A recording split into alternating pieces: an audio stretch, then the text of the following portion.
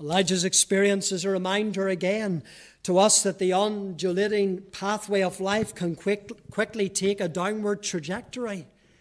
And, uh, and it is in such times that we need to keep the Lord before us and not to do anything rashly.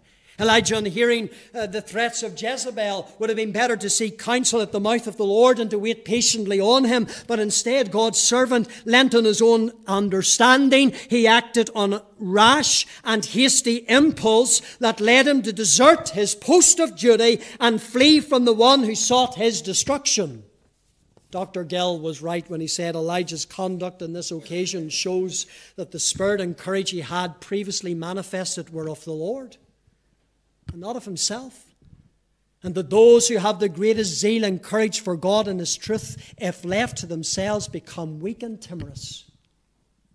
Such weakness and vulnerability we need to come to recognize in ourselves, especially after our successes. There are many other examples.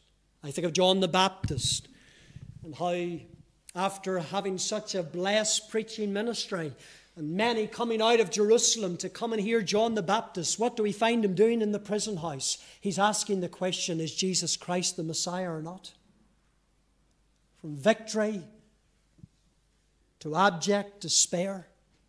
When we think of Peter's denial, here he is. He saw the Lord in the Mount of Transfiguration. He's been brought into that garden, and not long after that, he's now publicly affirming not only that he would deny the Lord, but that he would die with him. That's what Peter said. He said, I'll not only, I'll not deny you, but I'll die with you. But what do we find him doing? We find him denying the Lord. All we've considered today, let me very quickly and very quickly bring a few points of application. Number one, point one of application the best of men are only men at best.